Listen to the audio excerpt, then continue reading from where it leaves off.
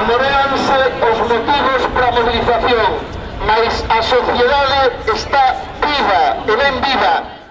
Hoxe, eh, a plataforma galega en defensa do ensino público ten convocada movilizacións en todas as vilas, en todas as cidades galegas para defendermos o dereito a un ensino público galego e de calidade.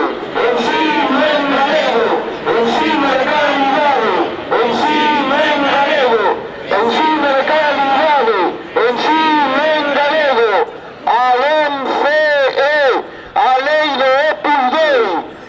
liquida a igualdade de oportunidades e expulsa do ensino os sectores sociais máis desfavorecidos da sociedade que lle facilita o alumnado se é necesario a matriculación nun centro privado pagado por todas e todos nós para evitar a súa escolarización no noso idioma porque significa un retroceso de décadas e porque elimina a igualdade de oportunidades, volvendo a unha sociedade na que o valor das persoas está en función do que posúen, e na que o futuro depende de onde e en que familia se nace.